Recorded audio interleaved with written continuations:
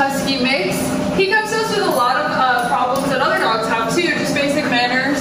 Um, mom and dad want to be able to take him places. He also escapes his backyard a lot, so they want to be able to call him back and have him listen when he, whenever he decides to run away.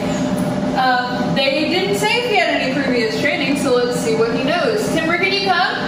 Come. Ah, maybe. Oh, good boy. good boy. I think you were just wondering why I was saying your name, it's okay. Timber, can you sit? Can you sit? Sit. Oh, good boy. Wow. What about down? Can we down? Can we down? Oh, we can get excited. Can we down? We do pets. Pets are good. Yes, good boy.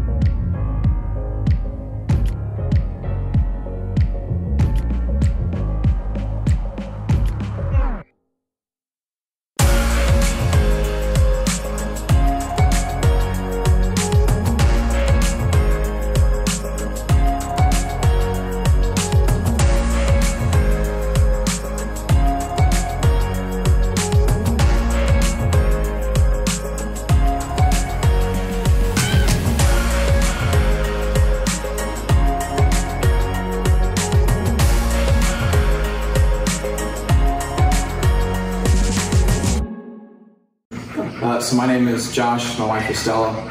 This is our dog Timber. Uh, we chose bulletproof dog training uh, really because the videos we saw online of uh, you know taking taking a dog to the store, um, and really it was a husky that we saw in the video that really brought us and really interested me because we know that our dog is is uh, pretty ornery sometimes, and uh, and so we were really impressed with what I saw. Um, I appreciate that it was a veteran-owned business because we're both veterans ourselves, and so that also played into that. Um, but seeing what Timber's done um, just this afternoon is really, really impressive.